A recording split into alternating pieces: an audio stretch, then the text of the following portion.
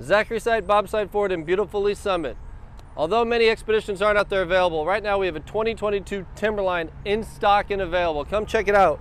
Upgraded wheels, a completely fresh interior, and all types of fun stuff to do in the aftermarket world.